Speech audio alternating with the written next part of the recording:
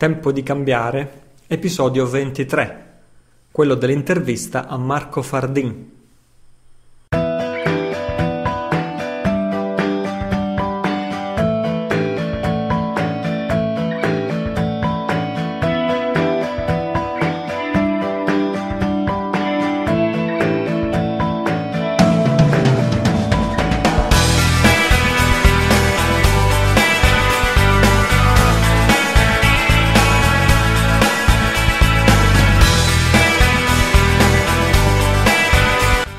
Ciao, sono Italo Cillo, questo è il mio podcast www.tempodicambiare.it è l'indirizzo base dove sono archiviati tutti gli episodi passati, siamo arrivati al ventitresimo.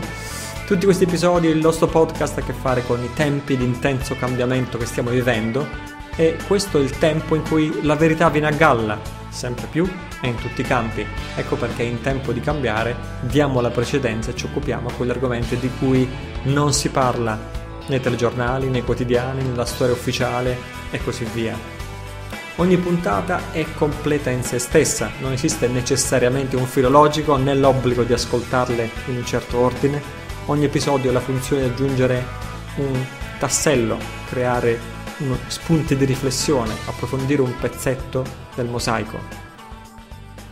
Questa settimana ormai fervono i preparativi per il secondo raduno di tempo di cambiare, si terrà a Roma fra pochissimi giorni ormai, eh, da venerdì 21 a domenica 23 dicembre, sarà la nostra seconda occasione di incontro, il secondo raduno della comunità che si raccoglie intorno al podcast di Tempo di Cambiare e faremo tante cose. Sono in programma gruppi di studio, gruppi di lavoro, gruppi di approfondimento, relazioni di approfondimento su tutte le tematiche trattate nel podcast. Faremo meditazioni mattutine, celebrazioni serali e ci saranno ospiti speciali Venerdì 21, il primo giorno del nostro raduno, nel pomeriggio ci sarà un intervento di Varo Venturi. Varo Venturi sarà con noi, ci parlerà in anteprima degli studi del professor Fomenko. È quello di cui vi parlavo nello scorso episodio del podcast, preannunciando che ne avremo parlato molto presto.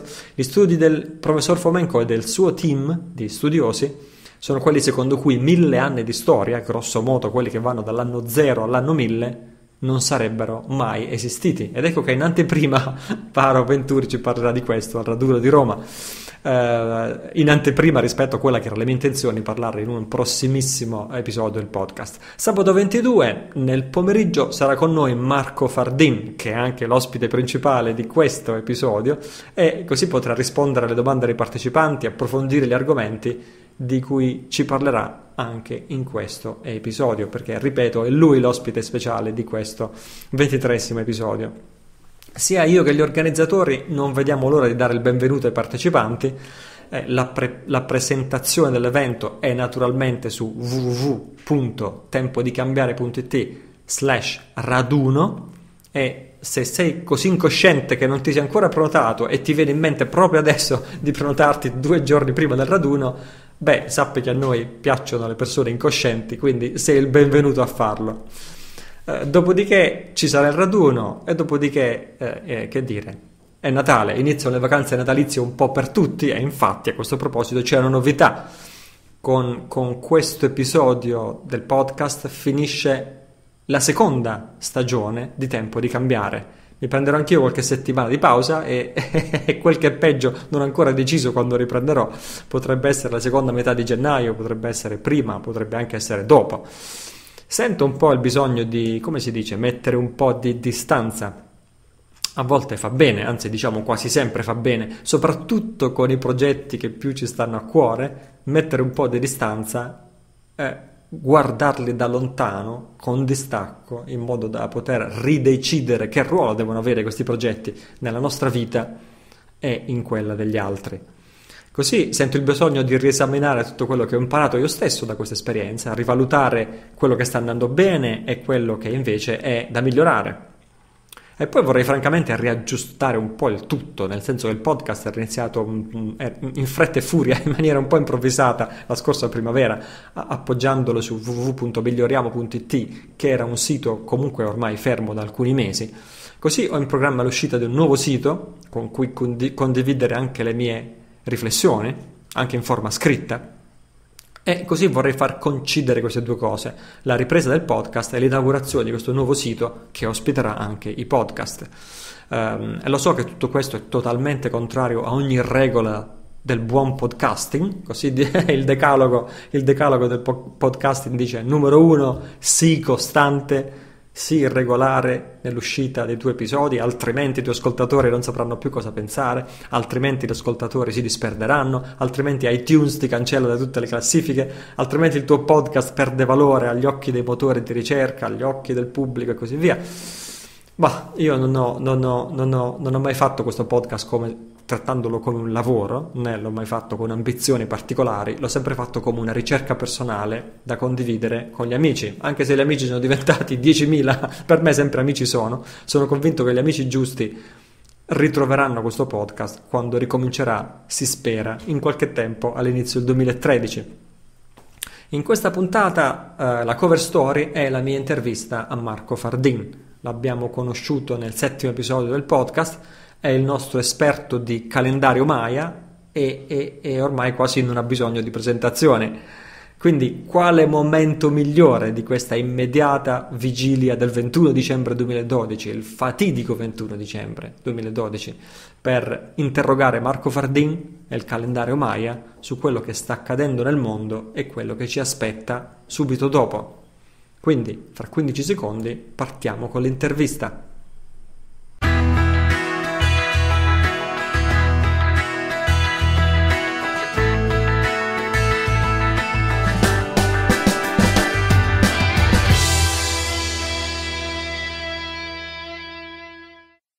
Hello, eccoci in linea con Marco Fardin, um, che i nostri ascoltatori hanno conosciuto nell'episodio 7 di questo podcast, anzi in effetti raccomando a chiunque non l'avesse già fatto di andarsi a riascoltare obbligatoriamente l'episodio 7 di Tempo di Cambiare con la mia intervista a Marco Fardin. Marco, grazie per aver riaccettato la mia, la mia, il mio invito.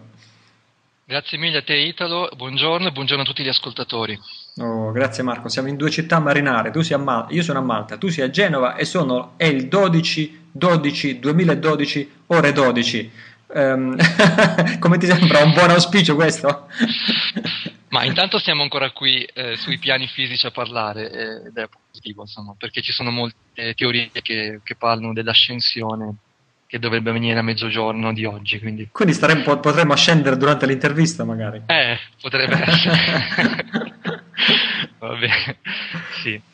Marco, co- so, eh, non so cosa, ripeto, non so cosa è il caso di riepilogare o no sulla, sulla tua visione, la tua lettura eh, ispirata a quella dell'altro ricercatore Carl Kaleman svedese sull'interpretazione del calendario Maya. Non so cosa è il grado di riepilogare o cosa è il grado di rimandare direttamente i nostri ascoltatori, ripeto, all'episodio 7 Uh, e questa è la prima domanda che ti faccio, uh, soprattutto sulla famosa diatriba 21 dicembre 2012 e, e invece la, la, datazione diversa data da Carl Kalleman. Se ti sembra il caso di fare un breve riepilogo su questo.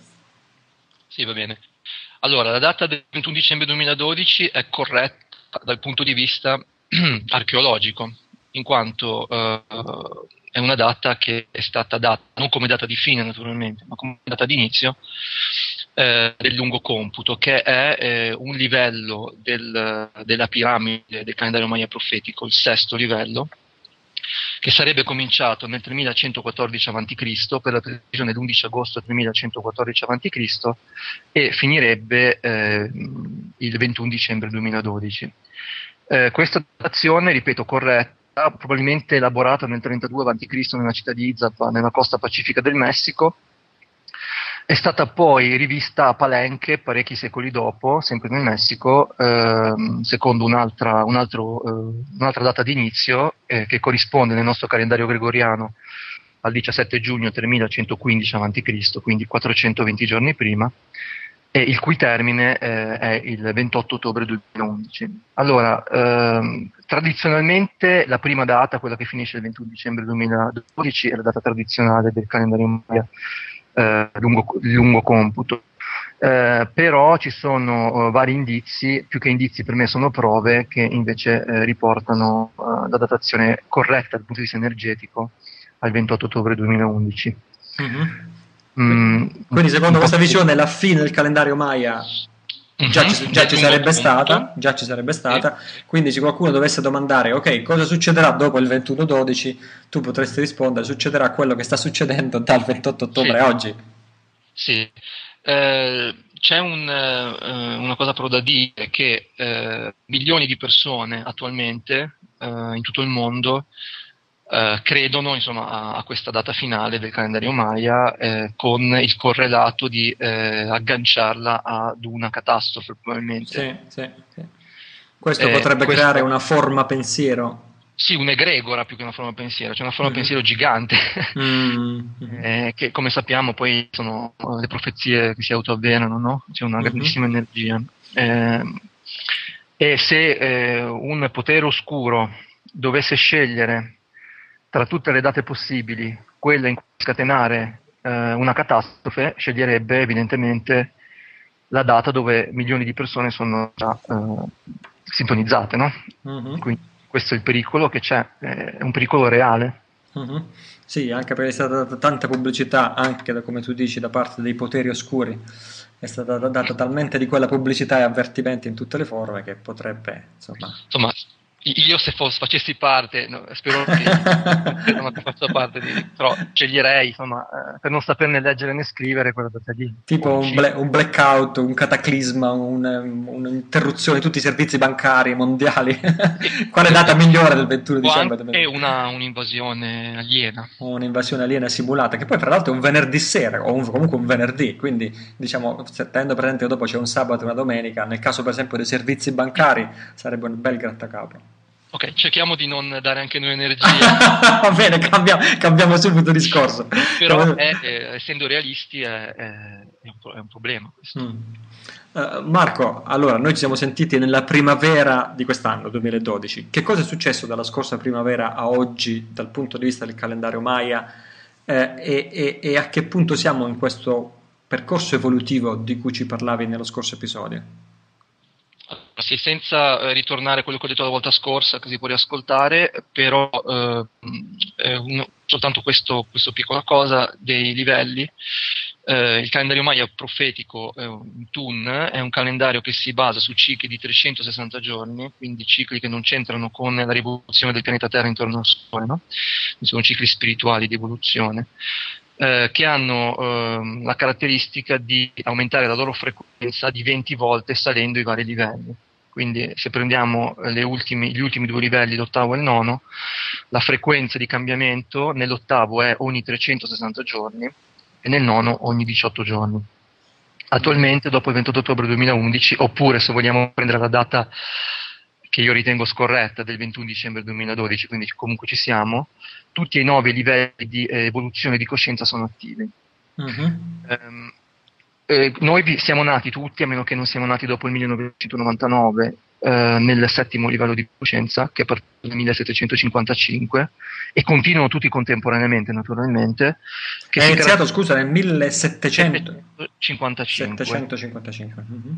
E, Dopo, dopo vent'anni c'è stata poi anche la fondazione degli Stati Uniti perché è passato il primo, il primo periodo di vent'anni, il cambiamento avviene ogni vent'anni nel settimo livello di coscienza. Uh-huh. È la famosa crisi generazionale tra genitori e figli, no? I uh-huh. genitori non comprendono i figli perché hanno vent'anni di meno.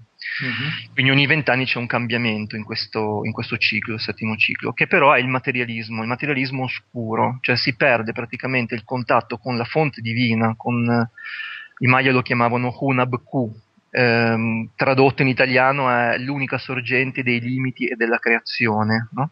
Mm-hmm. Si perde questo contatto, è necessario nel piano divino, diciamo così, che ci sia questo passaggio perché in questo modo si può creare l'ego, eh, la coscienza individuale e i manufatti materiali.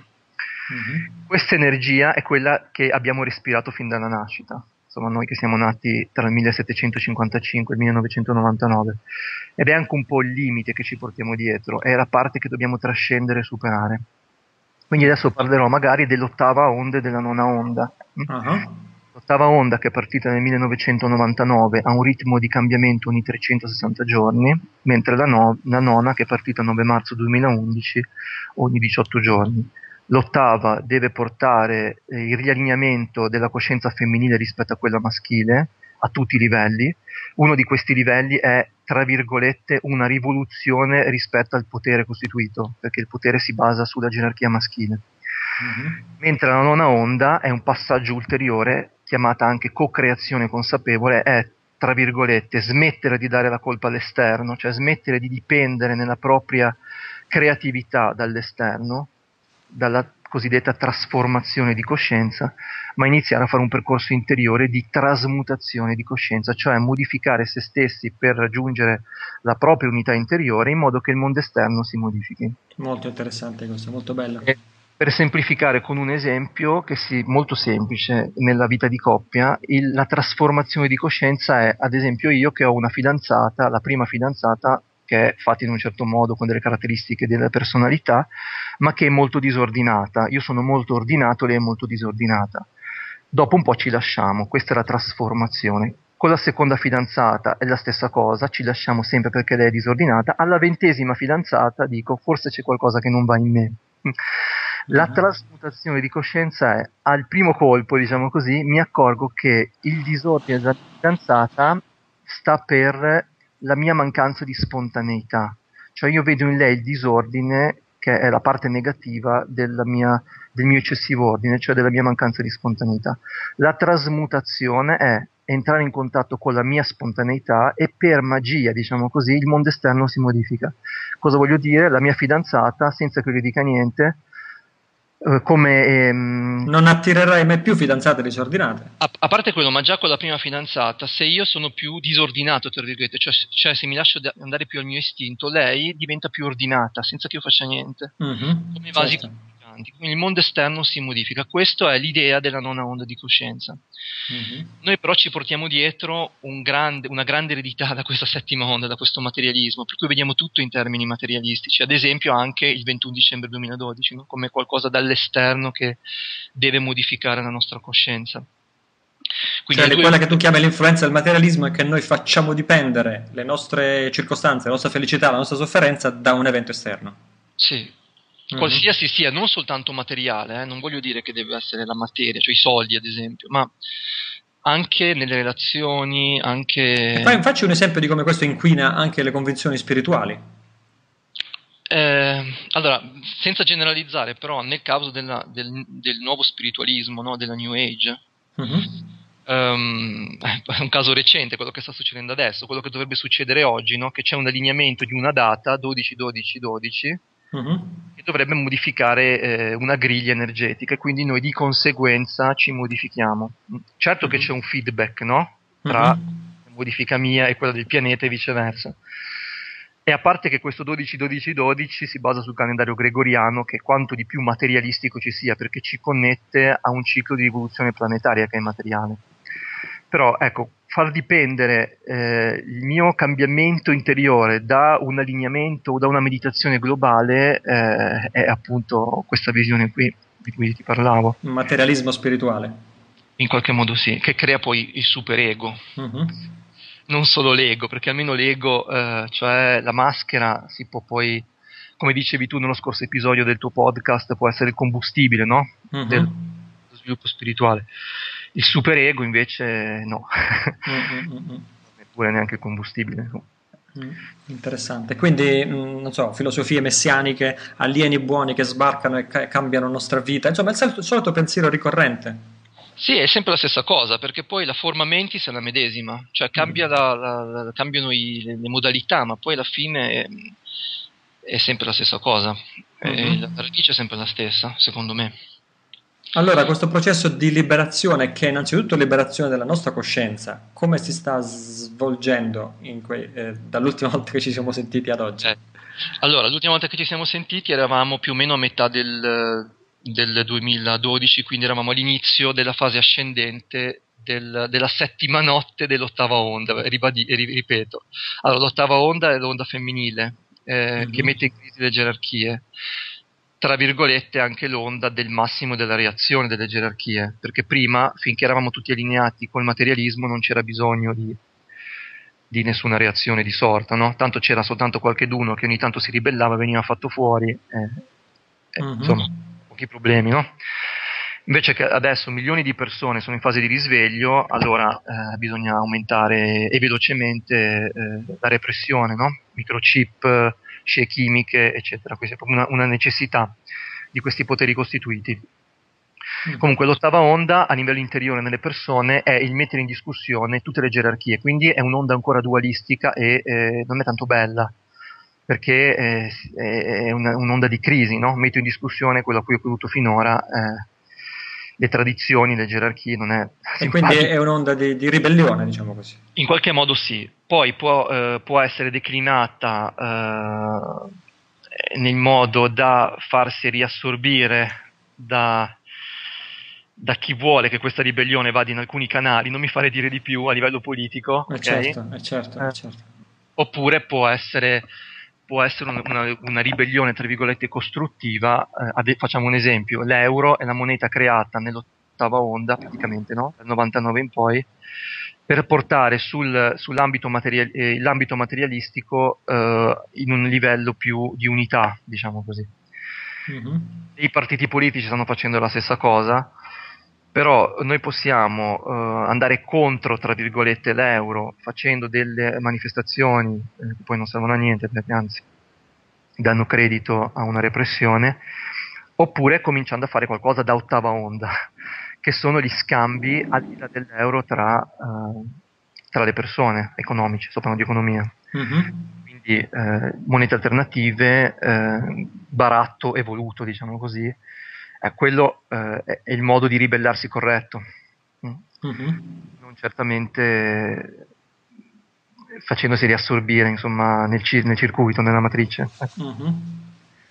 Quindi nel, mm, diciamo così, nel, nel settimo, nella settima notte, che è praticamente stato 2011 dell'ottava onda di questo periodo, noi abbiamo eh, portato all'applicazione concreta il settimo giorno. Nei giorni abbiamo sempre un'espansione, nelle notti un'applicazione concreta.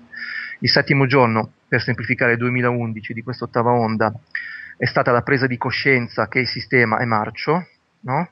e l'abbiamo visto anche con l'ultimo in Italia, con l'ultimo, uh, l'ultima illusione, la caduta di Berlusconi, no? mm-hmm. che avrebbe dovuto cambiare le cose, invece abbiamo visto che è venuto dopo Berlusconi. Eh, uh-huh. E banche pure, no? Quindi questa è stata la caduta finale delle illusioni che con con il vecchio sistema di potere si potesse creare qualcosa. Questo è stato il 2011. Mm-hmm. Nel 2012 si è applicato a livello pratico questo, quindi abbiamo avuto nella prima parte tutto il montismo, no? mm-hmm. Nella seconda parte un inizio, cioè dal 25 aprile 2012 in avanti, eh, un inizio di, eh, di presa di coscienza e di programmazione del cambiamento ed è stata la parte proprio in cui è nato Tempo di cambiare, no? nella seconda parte del 2012 è mm-hmm. anche tempo di cambiare, un, un, laboratorio, diciamo, un'elaborazione di, di, di nuove forme, no? mm-hmm. contro, tra virgolette, contro quelle precedenti. Il 23 ottobre 2012 siamo entrati nell'ottavo giorno di quest'onda, quindi dal 23 ottobre 2012 al 18 ottobre 2013 siamo nell'ottavo giorno, nella fase di espansione. Ed è molto importante perché la sesta onda che è l'onda cont- l'opposta all'ottava, perché la sesta è il maschile, la, eh, l'evoluzione del maschile, dell'energia mm. maschile. L'ottava è l'evoluzione dell'energia femminile.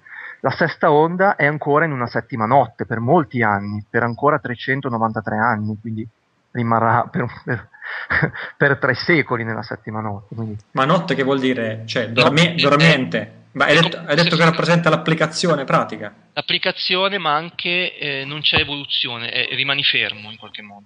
Ah, no, non c'è espansione, ok. C'è espansione, quindi si, se ne va a dormire in qualche modo per 393 anni. Mm-hmm. Già maschile. No? Ormai quello che, che, ha fatto l'ha fatto, non, non, non ha più questa, uh, questa, necessità di espandersi ancora di più. La razionalità l'abbiamo imparata in qualche modo. Mm-hmm. Fa parte del maschile. Adesso anzi prenderemo solo le cose positive nel futuro. Invece l'ottava onda va nell'ottavo giorno, cioè supera il maschile in qualche modo. Questo significa che... Da, a partire dallo scorso ottobre, dice. Il 23 ottobre, no? Uh-huh. Uh, le gerarchie saranno seriamente messe in discussione, cioè sarà l'anno delle rivoluzioni questo, soprattutto a partire dall'Italia, Italia e Germania perché Italia e Germania si trovano sul punto centrale dell'albero del mondo, che è il meridiano 12 Est, che passa da Oslo, Berlino, Venezia, Roma, Tripoli, wow. Gabon e Sudafrica. Wow. Quindi il 2013 è l'anno dell'Italia, diciamo, della rivoluzione. Come si declinerà? O in senso uh, materialistico, quindi di nuovo riassorbibile dall'elite, spero tanto di no, o in un senso uh, più profondo, no? quindi di vera trasmutazione e eh, cambiamento degli scambi, quello che, eh, quello che fa veramente cambiare le cose. Vedremo, questo non posso dire.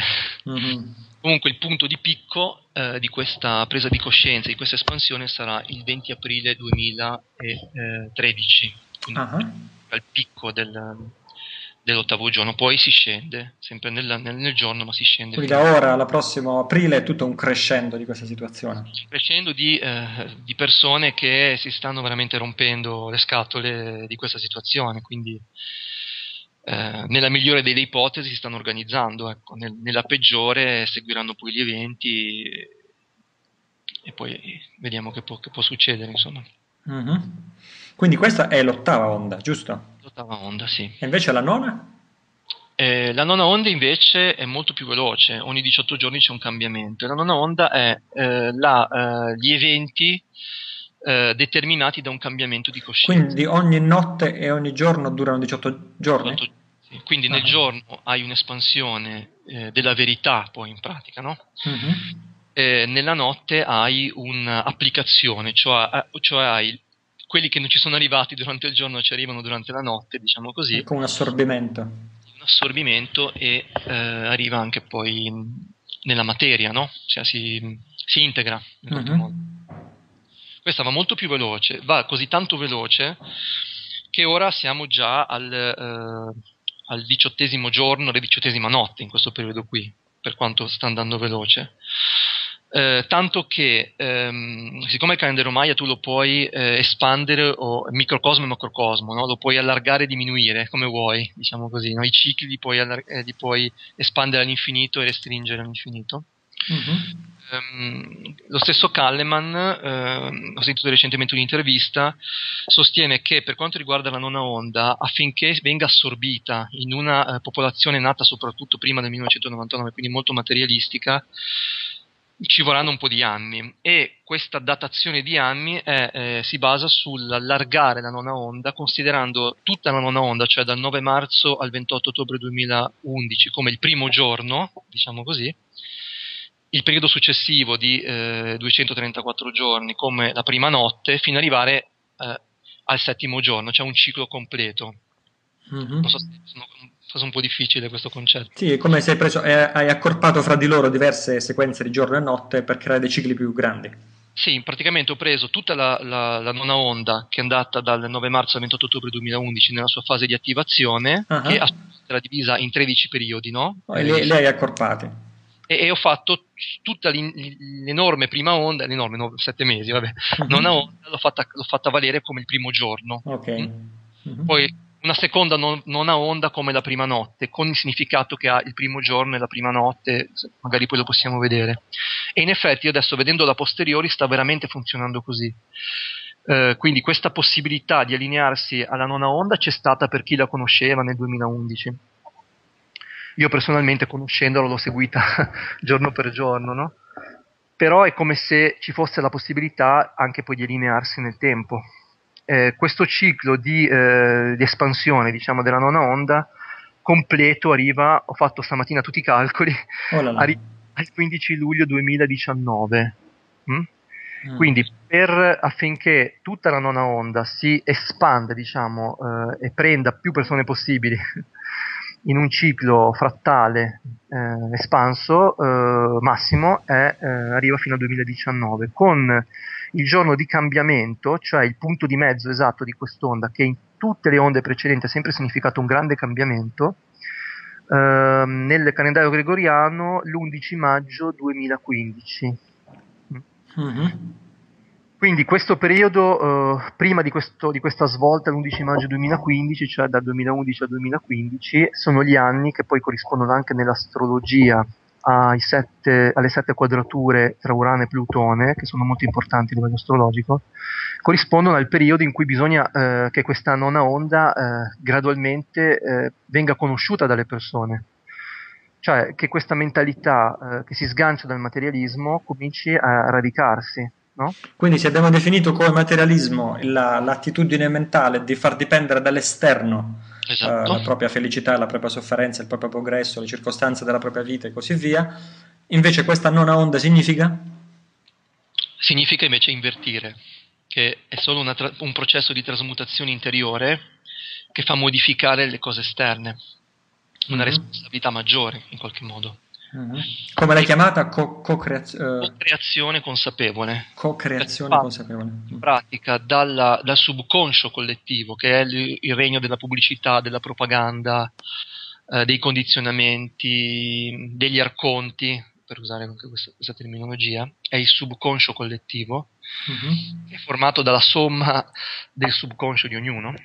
Mm-hmm alla coscienza collettiva che è consapevole, cioè svelo tutti i condizionamenti, quindi divento consapevole dei miei condizionamenti subconsci a livello individuale e eh, divento sempre più eh, un'unità in me stesso. Si potrebbe no? dire divento libero senza neanche bisogno di ribellarmi a nessuno.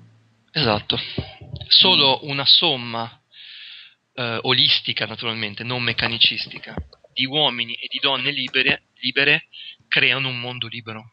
Uh-huh. Cioè, il concetto di individualità è fondamentale. Tutti i sistemi che vogliono imporre le, la libertà o l'unità dall'esterno sono totalmente deleteri. Sono una mm-hmm. nuova forma di comunismo, senza offesa per il comunismo. uh-huh. Quindi deve essere un percorso individuale di unità, mai collettivo. Molto interessante. Eh sì, perché, perché, è un altro, non peraltro, perché è un altro livello di illusione quello del collettivo. Mamma mia. È un altro livello di... cioè a questo punto non dipende più da me, sono le masse di cui faccio parte che mi, mi, mi, mi assolveranno di ogni peccato e così via. I, I, movimenti, eccetera, eccetera. Quindi è proprio un'altra mentalità. Mm. I partiti fanno proprio parte del, della settima onda, no? i partiti, no? Il partito vuol dire che... Il concetto del partito. Una parte, no? Prendo... Cioè, uh-huh. è proprio... Faccio i fatti miei contro di te. Mm. Una parte contro l'altra. Movimenti l'ottava onda, no? Ne abbiamo uno famosissimo di un mio conterraneo. Senza fare nomi, eh, per carità. Ok, che tra parentesi il suo blog si è sviluppato dopo il 2005. Il 2005 è stato l'anno in cui eravamo a metà dell'ottava onda. Come ti dicevo prima, quando arrivi a metà di un'onda poi si vedono gli effetti, no? Uh-huh. Ah, conterraneo un... perché tu sei di Genova, giusto? Sì, sì. Sempre senza fare nomi, eh, giusto senza riferimenti. Che poi mh, per tanti aspetti eh, io vede, inquadrando questo movimento nell'ottava onda eh, apprezzo, cioè non è che disprezzo, eh, nel senso, però poi, eh, poi, si torna sempre a, insomma, a, mm-hmm. a rientrare nel sistema, no? Okay. Mm-hmm. Eh sì, perché è la ribellione che in quanto tale a un certo punto ha bisogno di riconoscere il sistema a cui si ribella. Certo. Eh, e quindi ci sono vari passaggi da fare. Naturalmente, se una persona vive constant- totalmente nella, nella, viso- nella, mentalità materialistica, che la mentalità materialistica non significa che la materia non abbia un valore, ha un enorme valore, significa che rimaniamo solo lì, ecco, che è il nostro orizzonte, no? Cioè, se mi fanno la riga nella macchina, esco col click e spacco la testa che mi ha fatto la riga. Questo è il materialismo estremi- estremizzato, no? Cioè, uh-huh. il mio orizzonte è soltanto materiale, non va oltre. Um, ci vuole del tempo perché eh, le persone che sono nate, hanno respirato, come mi è successo a me, i miei genitori volevano che io uh, mi sposassi, lavorassi, facessi due figli, punto, no? Cioè, non mi interessava nient'altro, non è che gli interessava mm-hmm. se... Eh, eh, Senti, quando, quando, poco fa dicevi eh, l'ottava onda è partita nel 99, a, quel, a, quel, punto, ho, siccome è recentissima l'intervista con Varo Venturi, lo scorso episodio, non ho potuto fare a meno di fare un click nella mia mente, che, che non avevo fatto nello scorso episodio, che è l'inizio, la nuova onda è quello che invece Varo Venturi afferma, è l'inizio di internet, l'inizio di internet a cui fra l'altro lui ha dato una valenza anche, mh, mm, vabbè, tutte le cose hanno una valenza positiva e una positiva, e una, posi- una, valenza positiva e una negativa, però lui ha voluto accentuare dal 99 questo processo di progressivo quasi asservimento dell'uomo a stare isolato dagli altri uomini, fermo davanti a un monitor. Da questo punto di vista, come lo vedi tu questa, tu questa, questa situazione, dal 99 in poi, che cosa potrebbe rappresentare? Eh, vedo la stessa cosa che vede lui, cioè concordo al 100% su questo perché è successo, evidentemente. Mm. Um, noi dobbiamo sempre vedere da dove parte la materia. La materia deriva sempre dalla coscienza, da un cambiamento di coscienza. Quindi parlo a partire dalla nona onda, no? Mm-hmm. Eh, esempio che faccio sempre in ogni occasione, però è molto chiaro. I nostri palazzi che sono fatti, io abito in un condominio, quindi ho il palazzo squadrato, no? davanti a un altro palazzo squadrato che non c'entra nulla con la natura, è mm-hmm. stato elaborato in una mentalità, la mentalità tipica della settima onda, che è il materialismo, mm-hmm. il razionalismo. Eh, la casa ideale sarebbe una tenda, no? Rotonda, mm-hmm. nell'unità. Una, una yurta. esatto. Quindi ehm, vediamo anche però eh, a livello sempre di nona onda, quindi subspecie eternitatis direbbero i filosofi, no? quindi vedendo dall'alto a che cosa servono eh, i, eh, i, manufatti materiali. Quindi noi abbiamo un settimo livello materialistico mh, hm, che ha un'accelerazione incredibile ma è ogni vent'anni, quindi eh, a livello di telecomunicazioni questa settima onda deve portare dalla coscienza di vivere in una nazione a quella di vivere nel, in un pianeta, no? coscienza planetaria. Quindi nei giorni partiamo dal primo giorno la teoria del telegrafo, nel secondo giorno il telegrafo ottico, nel terzo giorno il telegrafo eh, elettrico, nel quarto giorno il telefono, nel quinto giorno di questo livello eh, la, la, la, radio, nel sesto giorno la televisione e nel settimo giorno internet.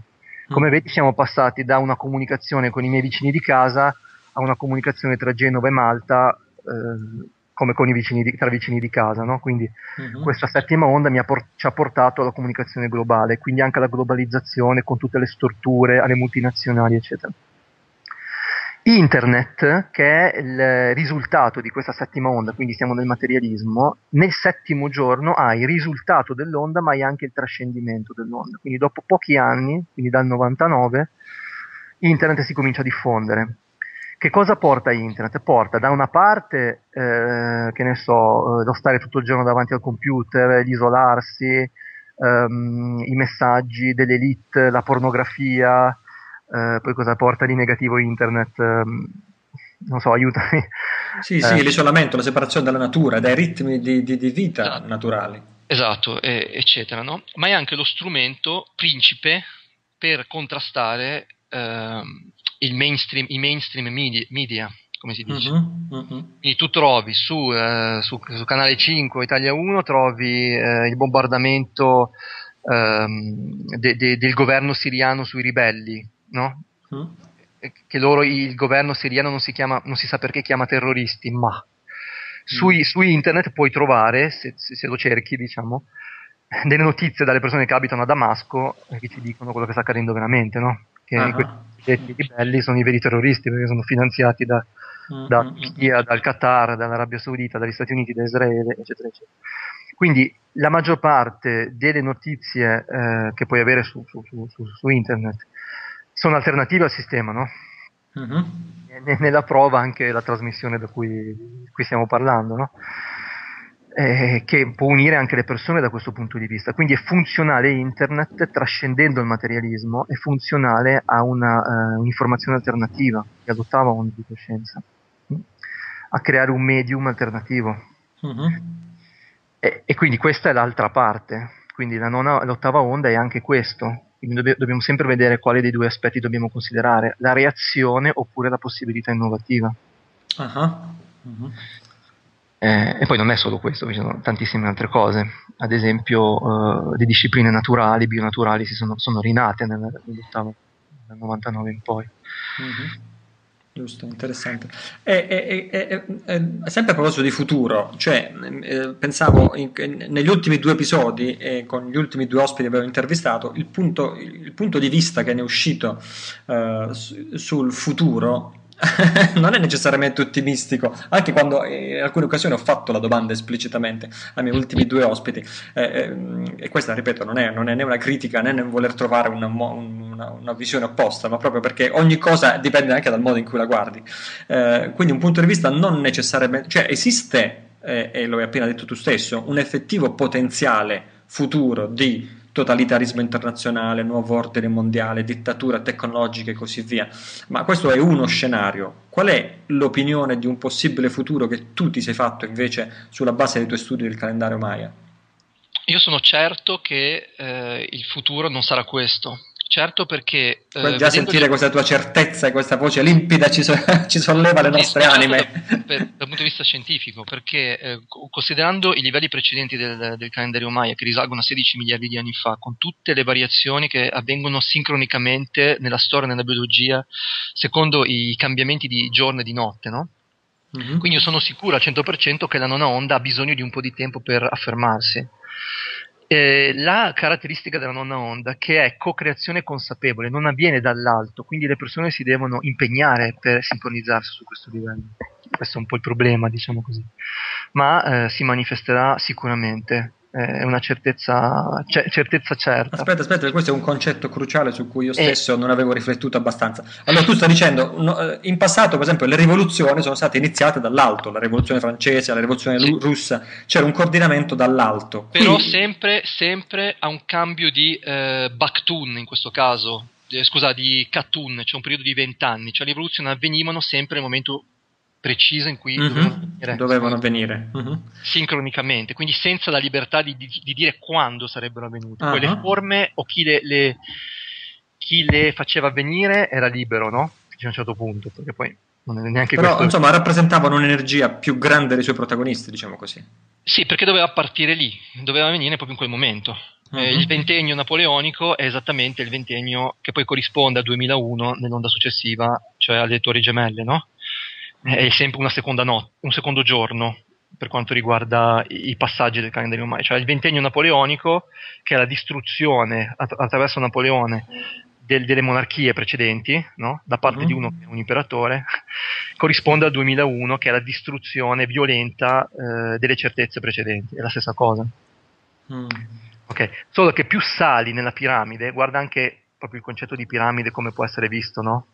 Mm-hmm. Come piramide di un certo tipo o di un altro, no? Più sali nella piramide, meno c'è questa stringenza precisa a livello meccanico delle cose che devono accadere. Quindi già l'ottava onda è già meno, è già, me, è già più con, eh, con, la partecipazione umana, diciamo così.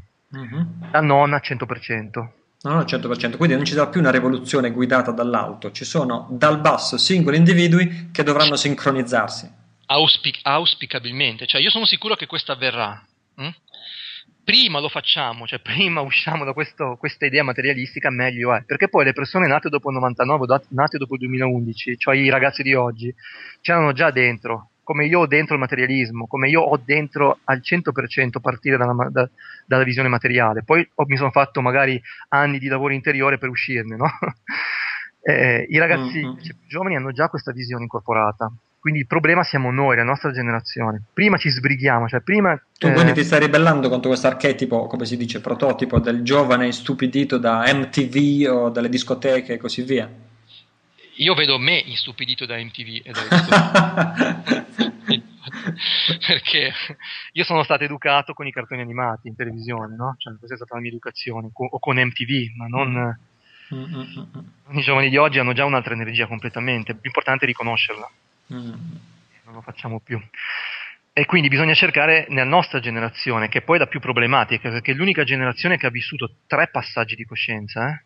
Tu immagini eh, una persona che è nata nel 1400, per dire, um, se, se, è esistito quel periodo lì comunque nel 1800 no 1500 che eh, ogni cambiamento c'era eh, ogni 394 anni. È logico che nella vita di una persona non c'era neanche un cambiamento tra giorno e notte ci volevano otto generazioni per fare un cambiamento e la generazione che ha adesso 50, 60, 40, 30 anni eh, si è vista la sua eh, onda di nascita, la settima, poi nel 99 un, un, un, un, nuovo cambiamento, quindi distruzione di tutte le certezze precedenti e nel 2011 ancora un'onda, di, un'onda in più, quindi è veramente problematica questa generazione qua. Wow, quindi è una grande opportunità o un grande stress sulle spalle di chi non riesce ad adattarsi? Allora, è uno stress per tutti. Mm. Eh, sfido io a trovare qualcuno che non sia stressato negli ultimi anni, no? Mm-hmm. Poi si può reagire, agire eh, accettando questo cambiamento di frequenza, no? quindi facendo un lavoro interiore, eccetera, oppure si può reagire aumentando la propria corazza, il proprio ego. Di questo mm-hmm. stare. Mm-hmm. Ci sono tre mondi adesso, attualmente, non ce n'è uno. Cioè, uh-huh. tre... Ah, perché sono tutti e tre attivi, giustamente. Esatto, c'è un autore, io adesso sto scrivendo un articolo che uscirà tra qualche giorno in cui parlerò di questo, ma c'è un autore molto famoso e che io rispetto molto, che è un materialista, diciamo così, che sta di- divide la Terra in tre terre, Terra A, Terra B, Terra AB, diciamo così. Wow. Si chiama Georgi Stankov. Come i gruppi sanguigni. diciamo di sì. E lui sostiene che queste tre terre tra poco, cioè il 21 dicembre 2012, eh, saranno tre terre proprio eh, materiali diverse, cioè ci sarà una tripartizione dei mondi, tre mondi a frequenze diverse. Mm. Quindi la terra B è la terra attuale che peggiorerà sempre di più, in cui vivranno un miliardo di persone, secondo lui. Mm. Elite, i criminali, eccetera, no? Che si mm. eh, ruberanno tra di loro. Poi la terra A, un altro miliardo di persone, è una terra di unità, quindi ha un'altra frequenza, no? l'ascensione. E poi per i restanti 5 miliardi di persone indecise ci sarà questa terra intermedia, un limbo. Mm-hmm. Eh, questa visione, che, che io contesto da, alla radice, ok? Però secondo me è vera. è vera dal punto di vista del materialismo, cioè lui ha avuto l'intuizione corretta di vedere tre mondi contemporanei, eh, ma non sono tre mondi fisici, sono mm-hmm. tre mondi attuali di, uno è il materialismo, uno è l'ottava onda, cioè di ribellarsi, e l'altro invece l'unità, secondo mm-hmm. me. Molto e interessante. Ci sono già. Quindi la visione che hanno avuto i tuoi ospiti, io eh, concordo pienamente con loro. Tra parentesi ho anche sentito delle interviste meravigliose eh, che mi sono servite tantissimo, però dipende a cosa ci allineiamo, sia singolarmente sia eh, globalmente. Mm. Eh, la forza ce l'hanno le ultime onde, non le, le precedenti. Mm-hmm. Quindi al, nel lungo periodo, spero nel breve periodo, ma nel lungo periodo, eh, come funziona sempre, come è sempre stato, eh, le vecchie onde poi alla fine si disgregheranno. Uh-huh. Dipende solo da noi. L'ultimo concetto, eh, fino a poco tempo fa, noi non sapevamo niente di signoraggio, non sapevamo niente di, di, ehm, di Securities and Exchange Commission di Washington, no? Uh-huh che ne sapevamo di quelle cose? Vivevamo certo. nella nostra frequenza materiale, non c'era bisogno di, di, di, niente, non andavamo avanti così e ci sembrava tutto giusto, no? mm. Adesso lo mettiamo in discussione. È adesso che eh, il terreno sta cambiando, no? Uh, il batterio ha influenza su un terreno malato. Se il terreno è forte, eh, il batterio non attecchisce più fuori di metafora, i vari banchieri, Rothschild, Rockefeller, eccetera, che hanno fatto il bello e il cattivo tempo, l'hanno potuto fare perché tutte le masse erano materialistiche, quindi manipolavano. Chi manipola viene manipolato. Adesso che le persone si stanno risvegliando, è più difficile attecchire su quel terreno. Mm-hmm. Bello, bello, molto bello, molto interessante. Uh, Marco, potremmo, cos'altro potremmo aggiungere che potremmo aver lasciato fuori e qual è il modo migliore di concludere questa interessantissima conversazione? Uh, cosa abbiamo lasciato fuori? Mm, allora, di tecnico tanto. eh, no, il messaggio principale è arrivato forte e chiaro. Sì, mm, magari non so quando, andrei, quando andrà... Subito, pre- prestissimo. Forse prima Beh. del 20 dicembre 2012? Sì, prima del 21 dicembre, sì, sì. Ok. Eh, allora, sei prima del 21 dicembre 2012, eh, che cosa posso augurare alle persone il 21 dicembre 2012 con, come, mm-hmm. come, meditazione, non lo so. Um, per me il 21 dicembre 2012 è un, un'iniziazione, cioè è un passaggio, anche se non lo riconosco come data del calendario Maya, però per me è un passaggio, cioè è scegliere in pratica un valico, diciamo così, una scelta tra lasciarsi ingabbiare tra, da tutto quello che è questo hype, questo, questa esagerazione che c'è adesso, no? Mm. Eh, oppure scegliere la libertà, la libertà interiore. Quindi o, o come tutti o, sono preoccupato da quello che potrebbe succedere in questo 21 dicembre 2012 ma ehm, scelgo quel giorno scelgo di, ehm, di, di, di, seguire il mio progetto di vita, cioè di seguire ehm, le mie attitudini, di portare avanti i miei sogni, di collaborare con altre persone mm. portare avanti i nostri sogni. Ecco, questa sarà la mia scelta, la mia meditazione. Quindi, eh, insomma, mh, mm, credo Bello. che sia da fare una scelta di questo tenore qui. Mh, mm, lasciar perdere tutte le cose esterne, le, anche le balle che ci vengono raccontate e eh, far parte di, delle persone che risuonano con noi verso la realizzazione del nostro progetto. Grazie Marco, questo è un messaggio veramente bellissimo. Eh, ricordaci come si fa a rimanere in contatto con il tuo lavoro, le tue riflessioni, i tuoi siti web. Allora, il sito web si chiama www.coscienzacreativa.com con il collegamento alla pagina Facebook uh-huh. eh, che è in, nell'home page che viene aggiornata, aggiornata molto. Sulla, sul sito ci sono solo diciamo così, i, i, le cose basilari, non è tanto aggiornato. Sulla invece la pagina Facebook che si può vedere anche se uno non è iscritto a Facebook o sul blog ci sono un po' più di aggiornamenti. Ottimo, ottimo. Grazie. Massimo, grazie. Eh, Marco, grazie. Non hai idea di quante richieste abbiamo ricevuto ascoltatori di Tempo di Cambiare che dicono Marco Fardin dovrebbe d'ufficio essere intervistato ogni tot di mesi, ogni tot di settimane per, per, insomma, per i bei messaggi positivi e incoraggianti che ci dà. Quindi grazie, veramente doppie grazie Marco da parte mia e da parte di tutti gli ascoltatori di Tempo di Cambiare. Grazie di cuore a tutti e un super grazie a te per, per quello che stai facendo. Grazie Marco, un abbraccio grande e buon proseguimento. Grazie. Così, grazie a Marco Fardin che ci ha dato modo di eh, sintonizzare questo ultimo episodio della seconda stagione di Tempo di Cambiare su, su una lunghezza d'onda realistica ma positiva. È inutile nascondere che ci aspetta un percorso molto accidentato nella nostra vita e nei prossimi anni, questo è stato un, un, uno dei temi conduttori fin dall'inizio di Tempo di Cambiare, però ecco, questo corrisponde a un'inevitabile trasformazione dal vecchio al nuovo. Il vecchio è destinato a disgregarsi probabilmente da sé, senza neppure che lo si combatta, e il nuovo è destinato a crescere, a rafforzarsi e probabilmente a auto-organizzarsi a partire dal basso, così come diceva Marco Fardin in una delle sue riflessioni che mi hanno più, mi hanno più positivamente eh, colpito.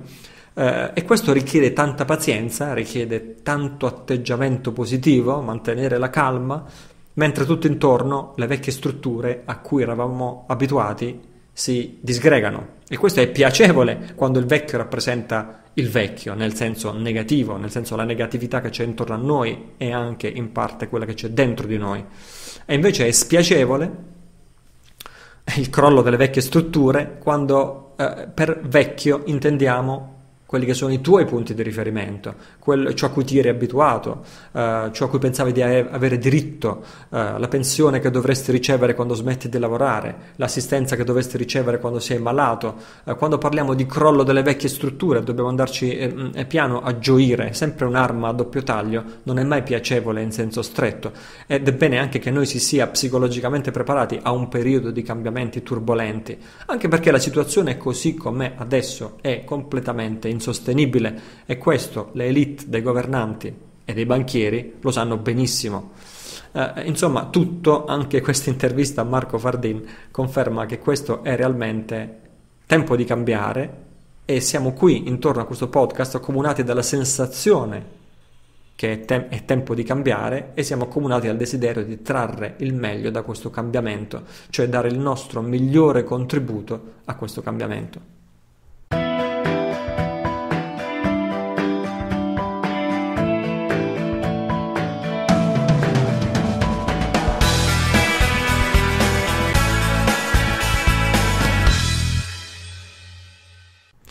Così, dicevo che per me è tempo di bilanci su questo podcast che oggi finisce la sua seconda stagione e così voglio condividere con te qualche riflessione su quali sono le cose di cui sono più soddisfatto a proposito di questo podcast e quali sono invece eh, quello che penso si deve migliorare. Quello di cui sono più soddisfatto è, paradossalmente è quello che meno riesce a capire la maggioranza dei miei ascoltatori, cioè che in ogni episodio io sospendo, o per meglio dire a zero, qualsiasi mia convinzione personale e mi dedico solo ad approfondire il punto di vista del mio ospite di quella settimana.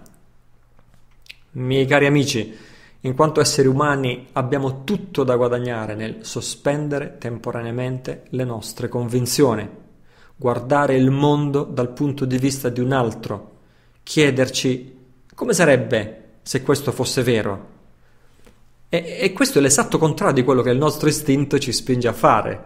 Solitamente noi pensiamo come posso dimostrare che io ho ragione e che quell'altra persona ha torto. Oppure ci chiediamo su cosa non sono d'accordo. Come posso dimostrare che si sbaglia? Come, come, come devo formulare quella fatidica frase non sono d'accordo con te? Che è la tipica frase che glorifica il mio punto di vista. Allora, adottando temporaneamente un altro punto di vista, cioè quello di un altro essere umano, addestriamo la nostra mente a espandersi oltre i propri limiti, a diventare sempre più spaziosa. E questa è la mia definizione di saggezza, cioè quando non pensiamo più di avere in tasca una verità più grande di quella degli altri. Perché la verità, le verità relative dipendono dai punti di vista. La verità assoluta è libera da ogni punto di vista. Ti faccio un esempio. Eh, dopo ogni puntata c'è qualcuno che mi domanda ma Italo, com'è possibile che tu abbia affermato questo e quest'altro? O, o, o com'è possibile che tu sia sempre d'accordo con l'ospite che intervisti? Non hai opinioni tue? Hai intervistato, non so, intervista un massone, l'amico Daniele, sembrava che eri d'accordo con lui. Poi l'intervista a Paolo Franceschetti, blog antimassoneria, e sembra che sia d'accordo con lui. Cioè, tu che sei d'accordo con tutti e così via. Oppure qualcuno mi domanda come puoi aver affermato questo e quest'altro, oppure eh, questo è il contrario, oppure come si concilia questo con il tuo punto di vista buddista, non avevi detto che eri buddista, eccetera, eccetera, eccetera, perché qui tanti ascoltatori sanno che io dal punto di vista personale seguo gli insegnamenti di liberazione della tradizione buddista, anche se ho scelto di non farne un punto focale di questo podcast. Perché, anche perché sono, sono cose di cui parlo approfonditamente nei miei corsi di meditazione, per chi è interessato, e ne parlo anche nel mio programma www.meditazioneguidata.it. E così allora mi chiedono ma cos'è che tu pensi veramente? Perché sembra che tu sia d'accordo? Perché eh, come si concilia questo con, con, le, con, le, tue convinzioni e così via? E qui ci sono sempre eh, eh, tante possibili risposte. Eh, la risposta numero uno è anzitutto che non ho affermato nulla in senso definitivo, ma ho soltanto per tutta la durata dell'episodio, di qualsiasi episodio, messo da parte le mie convinzioni e sperando fra l'altro di essere anche di buon esempio per i miei ascoltatori, perché penso che sia utile mettere da parte le proprie convinzioni, e mi sono dedicato a vedere il mondo attraverso gli occhi di un'altra persona, cioè attraverso un diverso punto di vista, che credo sia uno degli addestramenti più utili in assoluto. Tutte le volte che io lo faccio personalmente scopro cose nuove. E l'altra risposta che si potrebbe dare a questa domanda è che, come dire, il bigotto evita di farsi domande che possano mettere in crisi le sue convinzioni, mentre la persona dotata di senso critico, il vero praticante spirituale, se parliamo di buddismo nell'esempio di prima, cerca invece in tutti i modi di mettere in crisi quello in cui crede, così da poter creare una sintesi nuova che comprende sia le sue convinzioni precedenti e sia le nuove scoperte. Questo è quello che ti raccomando di fare, fammelo ripetere. Sfida le tue convinzioni, cerca di metterle in crisi, così potrai creare tu stesso una sintesi nuova fra le convinzioni che avevi prima e le cose nuove che hai scoperto. In questo modo la tua fede non sarà fede cieca, la tua convinzione non sarà fede cieca, sarà il frutto delle tue riflessioni, il frutto della tua meditazione, e in questo modo potrai anche essere più utile agli altri, perché quando riceverai una domanda o riceverai un'obiezione, chi è bigotto non saprà come rispondere. Chi invece ha pensato con la propria testa saprà sempre come rispondere, anche, anche perché quella domanda se l'era fatta prima lui stesso. Questo mh, mm, per me è un importante punto di forza eh, mh, mm, del podcast, una cosa ben riuscita di cui sono contento. Punti da migliorare invece di questo podcast è, è secondo me il forum. Tempo di cambiare.it slash forum. Uh, il forum è una comunità di discussione, lo so che è sempre comunque il destino dei forum, è quello, lo so che comunque una piccola minoranza di ascoltatori che si prendono il tempo di frequentare il forum, però vedo ancora troppe persone che si rispondono dicendo non sono d'accordo con te. E questo, come dicevo un attimo fa, è, è un esercizio sterile, non porta saggezza, non porta crescita. La saggezza consiste nel fatto che io e te ci mettiamo insieme e ci domandiamo come potrebbero essere vere contemporaneamente le cose che dici tu e le cose che sto dicendo io. Qual è il livello a cui entrambe le cose che noi diciamo sono vere contemporaneamente? creare una sintesi. Sarebbe un'esplosione di scoperte dopo scoperte, dopo scoperte, dopo scoperte, se tutti facessero così nel forum. Adesso non dico tutti, ma sarebbe bene se almeno una minoranza consapevole facesse questo. Invece io non vedo praticamente nessuno nel forum fare questo discorso, a parte i nostri tre meravigliosi amministratori, che sono Antonio, quelli devo citare, Antonio, Sanni e Max, Maximilian, a cui vanno i miei più incredibili ringraziamenti da parte mia e da parte di tutta la comunità del forum, perché sono veramente straordinari e sono veramente i pilastri e le colonne portanti del forum. Grazie Antonio, grazie Sanni, grazie Maximilian. Maximilian. A parte loro, diciamo così, tutti giocano a fare il gioco del non sono d'accordo con te, mi dispiace, non sono d'accordo con te, dico così, dico là. Per me non è a questo che doveva servire il forum. Certo, qualcuno potrebbe dire è normale, il forum serve per discutere, ognuno dice la sua, servono anche un po' per ammazzare il tempo, però e per me non è questo che doveva servire. Se per voi è normale che un forum serva a esprimere eh, controversie e così via, io contro di te, io non sono d'accordo e così via, eh, allora non siamo diversi da, da, da, dalla maggioranza pecorona. E allora io qui lancio una provocazione. O il forum migliora, diventa un luogo di cooperazione, in cui ci si domanda non chi ha ragione e chi ha torto, ma ci si domanda come potremmo aver ragione tutti e due e non ce ne siamo ancora accorti. O questo succede, questo miglioramento accade, oppure all'inizio del 2013 io potrei prendere seriamente in considerazione l'idea di chiudere il forum. E così vediamo se questa provocazione ci aiuta a migliorare questo aspetto che secondo me è da migliorare. Continuiamo fra 15 secondi.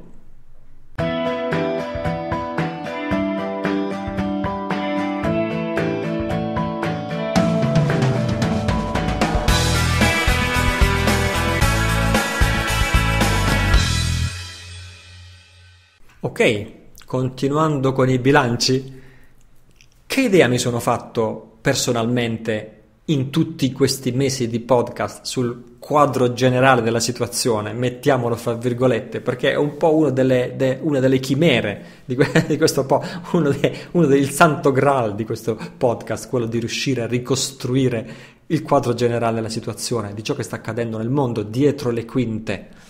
E così questo ultimo episodio della seconda stagione è l'occasione perfetta per riassumere quelle che sono le mie riflessioni e il mio punto di vista, visto che solitamente lo metto in disparte per fare spazio a quello dei miei ospiti. Um, uh, la, no, questo non è facile ovviamente rispondere a questa domanda. La mia impressione è sempre più che esiste una specie di cospirazione globale e qui non sto dicendo niente di nuovo, ma la cospirazione globale è un po' diversa da come ce l'eravamo immaginata o sicuramente da come me l'ero immaginata io all'inizio. Uh, mi sembra o affermo o ipotizzo che è in pieno corso di svolgimento una cospirazione globale che ha come scopo quello di scatenare la paura e la rabbia nell'umanità. Tutte le tematiche che affrontiamo in tempo di cambiare, le falsità che ci raccontano i libri di storia, il nuovo ordine mondiale, la finta Repubblica Italiana che in realtà è una company, il finto cristianesimo che in realtà è la Chiesa di Roma, è la soppressione della sovranità individuale, la soppressione dell'energia libera, la dittatura delle banche, il denaro basato sul debito, la truffa del debito pubblico, tutte queste cose cospirano per scatenare in noi la paura e la rabbia. E al tempo stesso, più indaghiamo su queste cose, più scopriamo un, un, una trama di falsità.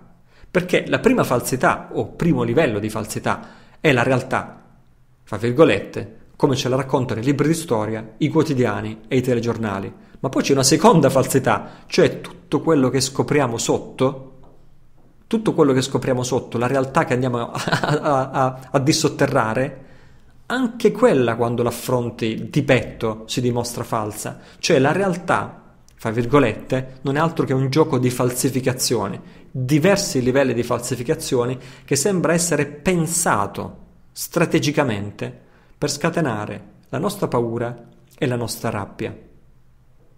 Eh, io non mi tiro fuori da questo, io stesso ho iniziato questo podcast perché ero indignato contro tutte le brutture, tutte le sofferenze che ti tocca di vedere, soprattutto se non credi più alle bugie dei quotidiani e dei telegiornali. Quindi ho, ho accompagnato migliaia di ascoltatori alla scoperta di una realtà totalmente nuova, o una vi- versione della realtà completamente nuova e diversa rispetto a quella ufficiale e nel far questo mi sono preso una bella responsabilità.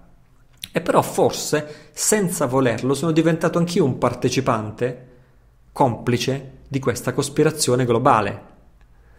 C'è uno scrittore cult degli anni 70, Robert, Alton, Robert Anton Wilson, che per, per, primo, per primo all'inizio degli anni 70 ha parlato di illuminati, cospirazioni e così via, i suoi libri sono comunque consigliati, diceva il vero segreto degli illuminati è che tu non sai di farne parte. Così probabilmente anch'io ho fatto il gioco degli illuminati divulgando certe notizie che Attenzione, non è che siano false, sono comunque più vere di quelle dei quotidiani e più vere di quelle dei telegiornali. Il punto è che obiettivamente la funzione di queste notizie, la conseguenza di queste notizie è quella di generare paura e rabbia, a meno che questo non sia il loro unico scopo.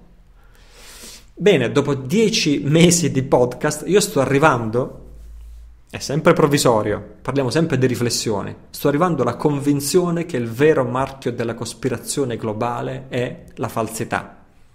Questa è la mia nuova, provvisoria ipotesi di lavoro.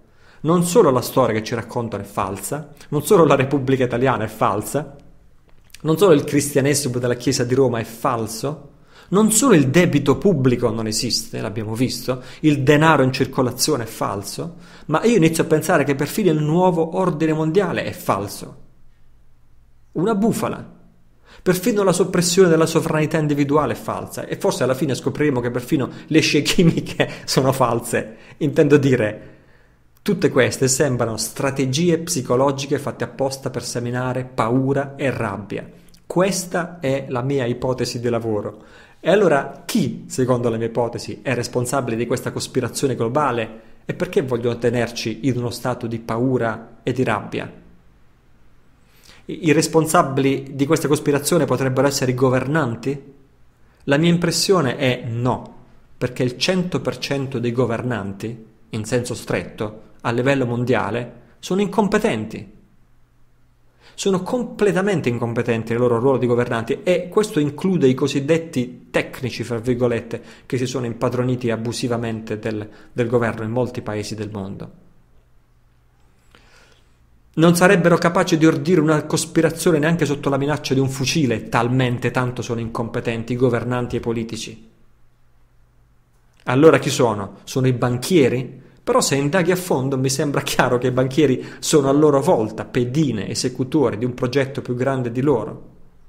E allora chi sono i veri responsabili? Quelli che stanno dietro le elite occulte, quelli che non si vedono, i governanti segreti del mondo, quelli che appartengono all'aristocrazia ibridata con gli alieni, come dice David Icke? Io non lo so, però io comincio a non credere più a niente. Mi sembra che tutti siano pedine di una grande chiamiamola operazione psicologica che è basata sullo scatenare paura e rabbia. E allora chi sono i responsabili di questa operazione psicologica? La mia ipotesi di lavoro provvisoria, per quanto possa sembrare stravagante, ti assicuro che ci ho riflettuto a lungo, è che la cospirazione, chiamiamola così e mettiamola pure fra virgolette, non viene da uomini o non viene da gruppi di uomini in quanto tali, ma sarebbe più giusto definirle forme pensiero, cioè campi di coscienza di cui noi facciamo parte senza neanche saperlo. Se volessi approfondire questo pensiero, adesso probabilmente partirei senza più fermarmi almeno per le prossime due ore. E allora ti dico, se ne avrò occasione, ne parlerò al secondo raduno di tempo di cambiare che si terrà fra tre giorni a Roma. E comunque è un argomento su cui intendo tornare nella terza stagione del podcast tempo di cambiare. Ora, alla luce di tutto questo, alla luce del fatto che non si capisce bene chi sta dietro, chi tira le file, le, le fila, chi è il nemico, con chi abbiamo a che fare o con che cosa abbiamo a che fare, come dobbiamo agire per migliorare il mondo, perché anche questo è uno dei tormentoni, è una de- delle chimere, è il santo graal del podcast Tempo di cambiare che stiamo eh, ricercando e che stiamo rincorrendo, cosa dobbiamo fare? Questa è la domanda che è sorta spontaneamente all'interno della comun- comunità fin dai primissimi episodi del podcast. Va bene capire, va bene domandarci, va bene indagare, ma cosa vogliamo fare concretamente per migliorare il mondo? Poi c'è stato il raduno di Abano Terme in cui abbiamo discusso anche di questo e poi, non so, probabilmente qualcuno avrà potuto pensare che io stesso ho smesso di interessarmi a questa domanda, come agire, cosa fare concretamente. Magari qualcuno avrà pensato che io mi sono rilassato, per così dire, in questo ruolo di narratore, intervistatore, eccetera, eccetera, senza più pensare a trasformare le nostre riflessioni in azione. Ebbene, devo dire che no, questo non è il caso e questo non è mai successo. Personalmente ho sempre continuato a pormi la stessa domanda ininterrottamente. Cosa significa agire? Cosa significa entrare in azione per contribuire a un mondo migliore? E il punto è che agire nel mondo è per definizione un concetto dualistico. Cioè si sente bisogno di agire per, per cosa? Per contrastare l'andazzo voluto dalle elite. E nel preciso momento in cui tu pensi così, cadi in trappola perché a quel punto devi identificare precisamente chi è l'elite, chi è il nemico, quali sono le sue strategie, quali sono le sue tattiche, come fare per avere la meglio su di loro e soprattutto cosa sanno loro che tu non sai, perché è impossibile sconfiggere un nemico meglio informato di te. Ebbene, ognuna di queste indagini, se noi la facciamo, si rivela un pozzo senza fondo diventa un puzzle in cui è impossibile rispondere. Se, se, se noi avessimo di fronte un'elite di governanti e banchieri che sono semplicemente cattivi e dominati dalla malvagità, e allora sarebbe quasi facile. Ci, sare- ci, sarebbe una strategia in grado di contrastarli. In effetti io ne ho anche pensato una, o più di una, strategia di quello che potrebbe essere un movimento di rinnovamento sociale e spirit- spirituale, se ne avrà modo e se ci sarà interesse ne parlerò a Roma. Ma la domanda è, se la premessa iniziale fosse completamente sbagliata, se non esistesse un'elite di governanti e banchieri che sono cattivi e sono dominati dalla malvagità, e se fosse proprio il tuo agire in un certo modo, supponiamo, sotto forma di movimento di rinnovamento sociale, movimento di rinnovamento spirituale, come lo vuoi chiamare, se fosse proprio questo a scatenare la reazione di un nemico che in realtà non esiste a meno che tu non gli dai potere. Mi rendo conto che queste eh, riflessioni sono altamente speculative, sono quasi voodoo eh, di frontiera, eh, però io sento che le mie riflessioni stanno arrivando da qualche parte e, e diciamo come se sono a forza di picconate come sono vicino a, a trovare qualche gemma d'oro da qualche parte eh, se, se, se dovunque io mi giro e mi volto trovo finzione e falsità attenzione non trovo nemici malvagi trovo finzione e falsità trovo bufale, trovo falsi allarmi, trovo scenari orribili sul nostro futuro che non si verificano mai. Allora contro chi combatto? Se combatto contro una finzione, rischio di trasformarla in realtà. E se invece mi accorgo che è una finzione, non ho più bisogno di combattere, perché sono già libero. Nei prossimi mesi, se lo vorrai, continuerò a condividere con te le mie riflessioni su questi argomenti.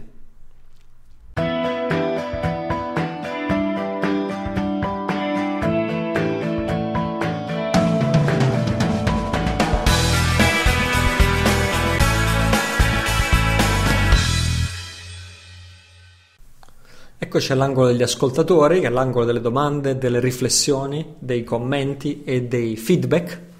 Anzitutto un saluto a Carlo Porta che mi ha inviato una bella registrazione audio fatta da lui. Carlo, ti ringrazio. La tua, la tua registrazione meritava pienamente di essere inserita qui, in questo angolo. Se non lo faccio è solo perché in questa puntata desideravo, per così dire, una maggiore leggerezza e meno atmosfere dark e così mi perdonerai se non inserisco la tua riflessione, il tuo approfondimento, ma eh, avrebbe meritato, è molto ben fatto e te ne ringrazio. Uh, la prima domanda invece è di Antonella e ve la voglio leggere se la riesco a trovare. Eccola qua. Si intitola Anima e ovviamente è sulla, eh, sull'onda della, della, della, dello scorso episodio Uh, dove si parlava di anima col regista Varo Venturi. Ciao Ita, l'ho ascoltato con molto interesse l'ultimo podcast, come tutti gli altri del resto. Poi mi sono vista sei giorni sulla Terra e ho ascoltato con molta attenzione alcune conferenze di Malanga.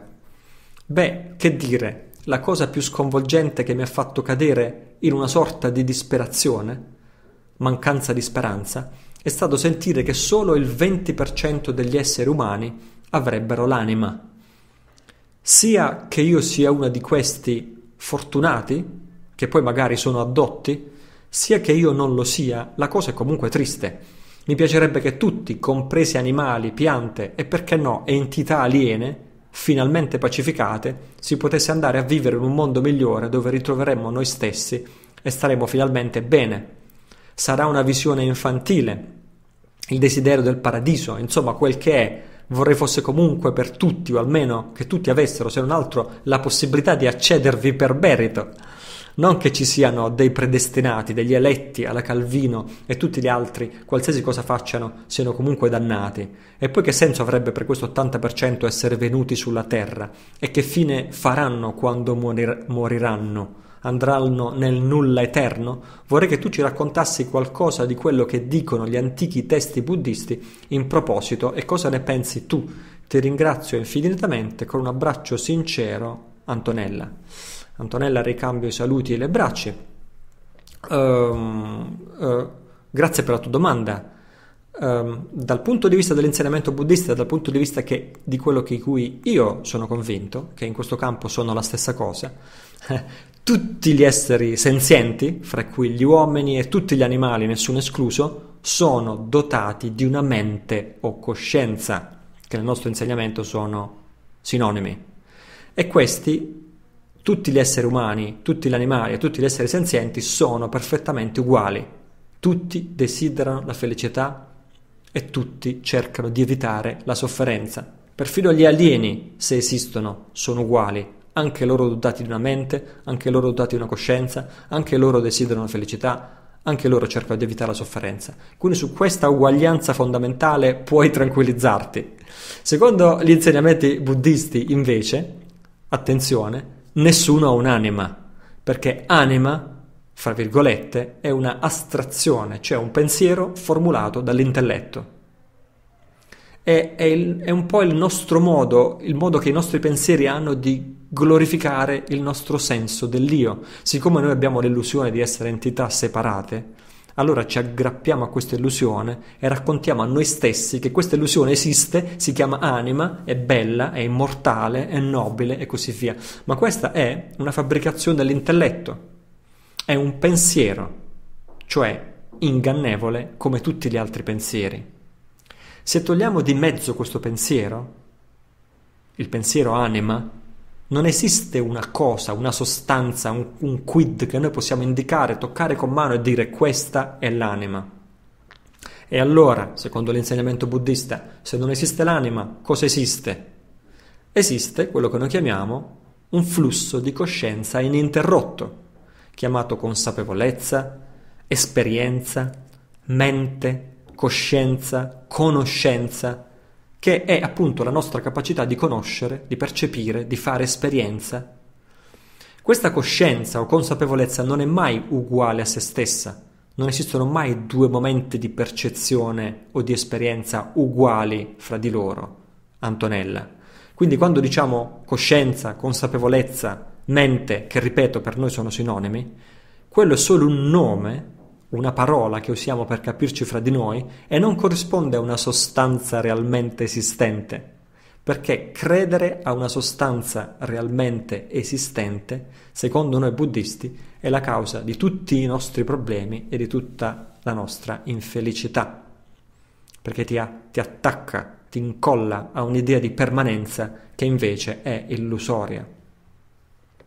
Detto questo, è questa mente o coscienza o consapevolezza o questo flusso ininterrotto, sempre diverso e mai uguale a se stessa, che noi dobbiamo proteggere dagli stimoli negativi, tornando al discorso, e fra l'altro è questo flusso di coscienza che va che continua dopo la morte dell'involucro fisico e quindi tutti continueremo, non c'è ombra di dubbio, se abbiamo una mente o coscienza dopo la morte del corpo fisico, questa mente e coscienza continuerà.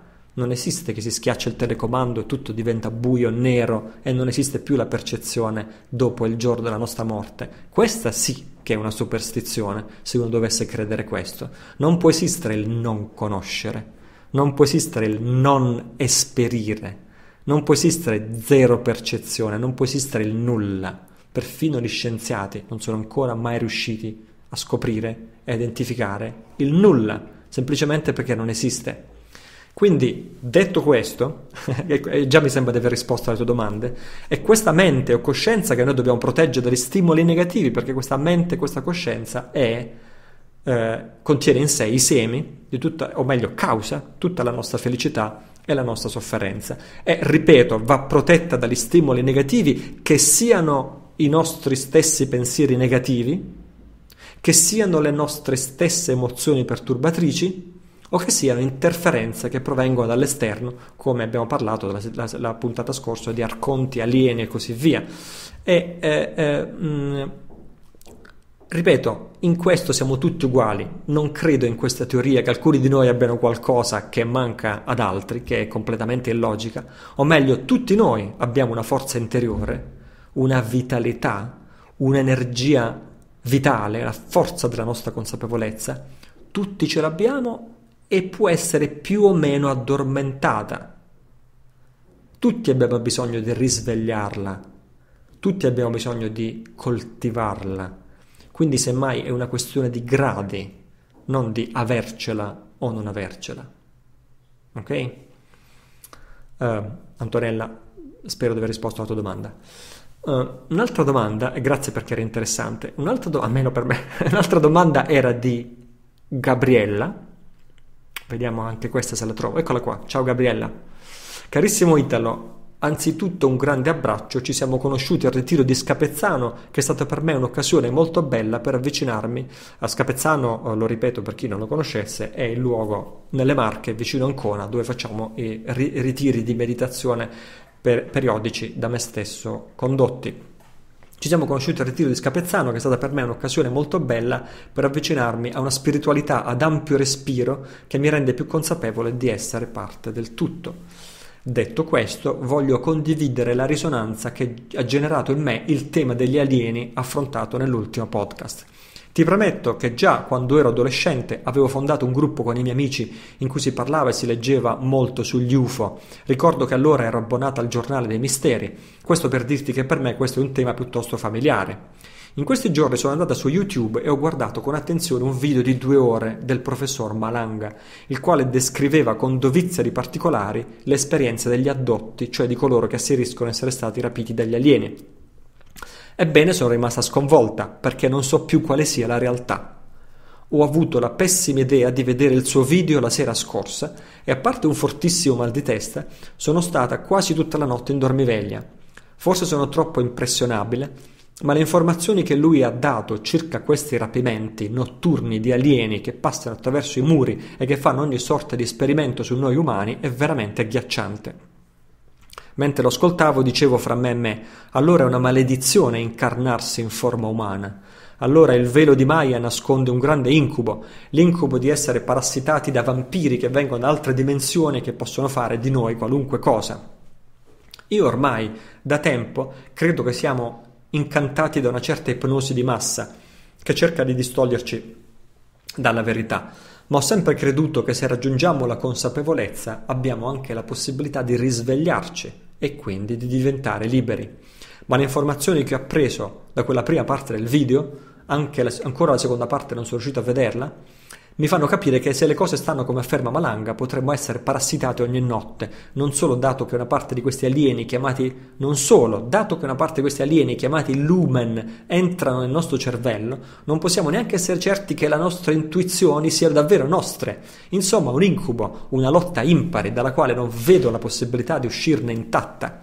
I lumen, come dice Malanga, dicono di essere parte di un tutto aiuto, ma anche noi nelle pratiche spirituali cerchiamo di risvegliarci alla consapevolezza che siamo parte di un tutto. Ho le idee confuse. Caro Italo, non voglio continuare a scrivere perché occuperei troppo del tuo prezioso tempo, ma vorrei che tu esprimessi un parere rispetto a questo argomento così agghiacciante almeno per me. Ti ringrazio, non vedo l'ora di abbracciarti, Gabriella da Roma. Ciao ciao Gabriella, spero che ci rivedremo presto al, al raduno di Roma. Uh, grazie per la tua um, condivisione più che domanda.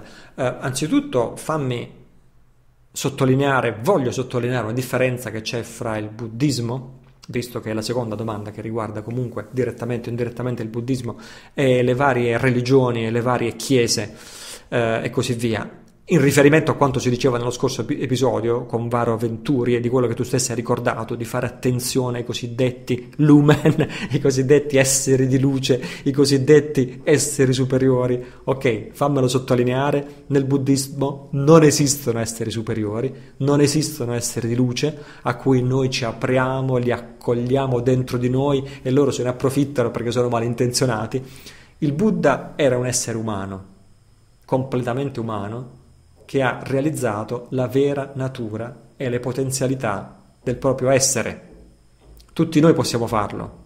E questa, è, è, questa vera natura è dentro me, dentro di te, dentro ciascuno di noi. Infatti la chiamiamo natura di Buddha ed è in quella che noi prendiamo rifugio, cioè il nostro punto di riferimento è quella la parte migliore di noi stessi, la nostra natura di Buddha, non è che noi adoriamo o divinizziamo il Buddha fisico in carne ed ossa, il Buddha in quanto principio della natura di Buddha che c'è in ognuno di noi, eh, fondamentale. E quindi, dicevo, il Buddha stesso proibiva ai suoi discepoli, quando era in vita, di prendere rifugio negli dei. Perfino negli dei più alti come Brahma, il Buddha diceva se prendi rifugio nella, nella illuminazione, se pre- rivolgi la tua mente al realizzare l'illuminazione spirituale, non devi prendere rifugio negli dei, neanche in Brahma, perché se esistono per definizione hanno una coscienza o mente o consapevolezza o percezione, chiamala come vuoi, o esperienza, questa nel buddismo sono tutti sinonimi. Se hanno coscienza, per definizione hanno un senso dell'io, se hanno un senso dell'io, per definizione avranno la tendenza a servire questo senso dell'io, cioè a fare i propri interessi e non i tuoi. In effetti il Buddha diceva che gli dei, Deva, Asura, eccetera, soprattutto questi due, dei e semidei, anche se sono divisi in tantissimi tipi e sottotipi anche molto diversi fra di loro, fanno tutti parte del samsara, proprio perché hanno un senso dell'io, che significa che fanno parte del samsara, che sono esseri non illuminati, proprio come te, proprio come me, cioè soggetti a emozioni perturbatrici, sia pure gli dei molto molto molto più sottili rispetto ai nostri, hanno forme di orgoglio molto più sfumate, hanno anche loro la paura di morire, però ecco sono, sono più evoluti di noi, ma non sono illuminati, fanno parte del samsara, sono soggetti al pensiero io e sono soggetti alle emozioni perturbatrici proprio come noi eh, diventano tristi quando si accorgono che stanno per morire, sono, sono, uh, sono, terrorizzati dalla morte dei loro amici, dalla morte degli altri dei e così via. Ti sto dicendo, come, eh, ti sto dicendo un po' la mitologia, quello che dice il Buddha eh, a proposito di, di, questo argomento, che adesso sappiamo che le mitologie non sempre sono mitologie, ma contengono veramente pezzi di realtà. E quindi i Deva e gli Asura fanno parte del samsara proprio perché hanno un senso dell'io. Quindi sarebbe assurdo per chi volesse liberarsi dal samsara, cioè raggiungere la piena illuminazione, prendere rifugio in qualcuno che fa parte del samsara. E questa assurdità, perché è proprio un'assurdità, la trovo in tantissimi pensatori New Age, a cominciare da Wilcock, David Wilcock, che pensano che un giorno gli alieni verranno a salvarci. Ora, io penso che tu sei libero di crederci, però dal punto di vista dell'insegnamento di liberazione buddista, questo è ridicolo. L'altro aspetto della tua domanda, Gabriella, è ehm, eh, ma allora che brutto, che brutto, mondo è questo? In che, in che, brutto incubo siamo precipitati? Che brutta realtà è questa in cui ogni notte veniamo parassitati? Mi ricollego a quello che dicevo prima e mi riservo anche di approfondire questo concetto, il raduno di Roma e di nuovo in futuro, fermo restando che la minaccia aliena, come tutte le cose di questo mondo, diventa tanto più vera quanto più tu ci credi, fammelo ripetere. Fermo restando che la minaccia aliena, come qualsiasi altra cosa di questo mondo, diventa tanto più vera quanto più tu ci credi, fermo restando questo, la mia teoria provvisoria è che anche la minaccia aliena fa parte di questa cospirazione globale di cui parlavo prima, che è volta a scatenare paura e rabbia nell'umanità e a farci dimenticare che la nostra mente è il grande creatore di tutta la nostra realtà, che siamo noi stessi creatori della nostra felicità, della nostra sofferenza, e farci dimenticare che il nostro potere personale, la nostra libertà sono effettivamente infiniti, proprio qui e ora. E quindi la cospirazione è il senso di tenerci indaffarati, tenere indaffarate le nostre menti con cose che sono o sciocchezze complete, nella maggior parte dei casi, o bufale, o operazioni psicologiche create per metterci paura e rabbia e che diventano vere solo nel momento in cui noi ci crediamo, perché la mente è in grado di creare qualsiasi realtà. Chi è l'autore di questa cospirazione? Dicevo poco fa sono quelle che prima ho chiamato forme pensiero. Non sono persone, non sono gruppi di persone, sono forme pensiero, cioè campi di coscienza di cui noi facciamo parte senza saperlo. E nei, e nei, e nei cui inganni noi crediamo scioccamente. Quindi la risposta breve alla tua domanda è che secondo me gli alieni non parassitano proprio un bel nulla e non ci sono esseri realmente esistenti dalla propria parte chiamati alieni, sono una finzione, un costrutto falso, un pensiero proiettato, pensato da un campo di coscienza di cui noi facciamo parte senza saperlo. In altre parole, sono pensieri inseriti nella nostra mente, inseriti nella nostra esperienza, sia dall'esterno sia dall'interno però sono pensieri falsi e se noi ci crediamo diventano veri. Ti sembra troppo fantascientifica questa teoria? Eh, studiati un po' di fisica quantistica e vediamo che cos'è più fantascientifico. Questa è la mia conclusione provvisoria su questi argomenti.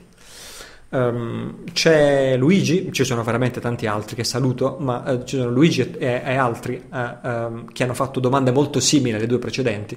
Volevo semplicemente salutare Luigi, salutare gli altri che mi hanno fatto domande molto simili a questa. Queste erano domande molto sentite. Penso che rispondendo a queste due domande ho, ho risposto a, a, probabilmente dozzine e dozzine di, di, domande simili a queste che avevano molti ascoltatori che hanno ascoltato l'episodio precedente. Uh, quindi volevo semplicemente salutare Luigi e gli altri eh, anche perché Luigi ci conosciamo personalmente e non, non, ci sentivamo da un po' di tempo, eh, ringraziare per le domande e appunto mh, confermare che credo di aver già risposto con le mie risposte precedenti. Ma per oggi diciamo che, per oggi diciamo che può andare bene. Eh, eh, ri, ri, ricordo le prossime occasioni di incontro per quelli che hanno piacere di incontrarsi di persona, che è sempre per me una cosa meravigliosa e insostituibile non è la stessa cosa incontrarsi a distanza via internet con un podcast che incontrarsi di persona. Sono due esperienze completamente diverse, appartenenti a due tipi di categorie di esperienze completamente diverse.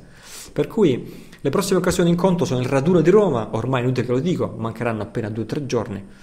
E poi c'è, io ho già fissato la data personalmente del mio prossimo incontro periodico di meditazione che tengo due volte l'anno, una volta in primavera, una volta in autunno eh, non è solo un corso di meditazione, in realtà è molto di più, è un corso in cui approfondiamo gli insegnamenti di liberazione e guardiamo a sentiero spirituale nel suo insieme e non semplicemente la pratica della meditazione. Comunque ho fissato la prossima data dell'incontro di eh, si tiene a Scapezzano di Senigallia, che è vicino a Senigallia, che a sua volta è vicino a Ancona, che a sua volta è il capoluogo delle Marche. Eh, si terrà dal 21 al 24 marzo del 2012 e quindi mh, mm, non esiste ancora una... Um, le, le, iscrizioni non sono ancora aperte, però te lo dico nel caso vuoi iniziare a segnarti in agenda queste date, 21-24 marzo 2012. Um, ehm, e basta, questo era il, 23, il 23esimo episodio. Il ventiquattresimo, che sarà anche il primo della terza stagione di Tempo di Cambiare, non ha ancora una data certa. Quindi eh, devi necessariamente, ehm, come si dice, eh, sottoscrivere, sottoscrivere, la mailing list di Tempo di Cambiare. Basta che vai su www.tempodicambiare.it, specialmente nei post all'interno del, nei post all'interno del, del nel, allora, nei post in cui viene pubblicato il podcast, all'interno c'è un form di iscrizione dove lì se inserisci il tuo nome e email, io potrò avvisarti di quando esce la prossima puntata, altrimenti come faccio ad avvisarti? Se tu non lasci il tuo nome e email, questo è importante adesso. Poi ci si può anche abbonare direttamente al podcast tramite iTunes, questa è un'altra possibilità per quelli di voi che sono tecnologicamente più esperti e che usano iTunes.